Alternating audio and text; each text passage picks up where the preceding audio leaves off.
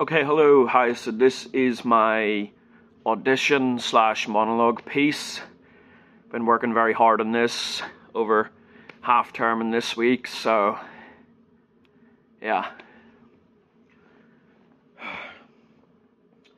Oh, I never told you about Mr. Jenkins. Mr. Jenkins was my favorite teddy bear growing up. He had this smart tartan bow tie and short, shiny coat of fur. Very dapper. He always used to talk about working in the Bank of Bears and growing his petunias. He could talk, you see. Not really talk. Just a voice my mother would do for him.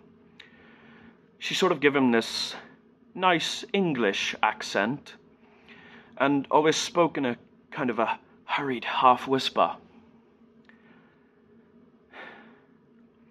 They used to tuck me in at night, Mr. Jenkins and my mother, and make me feel safe. That was until she killed him.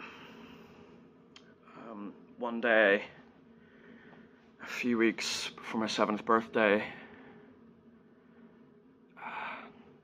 I accidentally left the garden gate open and our dog, Samson, escaped. My mother spent all day and all night out searching for him, trying to bring him home. That night, she came up to my room alone. Where's Mr. Jenkins? I asked. Oh, sweetheart. The day was just too much excitement for Mr. Jenkins, and well, he was an old bear and his heart just gave out. I'm sorry. It was my first experience with death.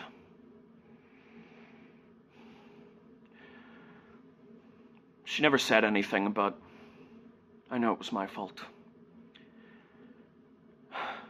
The next morning, she, uh, she left him, his body, I suppose, on my pillow for me to find. It was like the horse's head from The Godfather. He looked different, lifeless. Okay, that was it. That was it. Oh my god, it nearly ran for three minutes. I'm so sorry. But um, yes, that was my monologue. I memorized it. there we go. I've been coming up with my own uh, memorization methods, and they have been working. yeah, so awesome. Thank you for watching.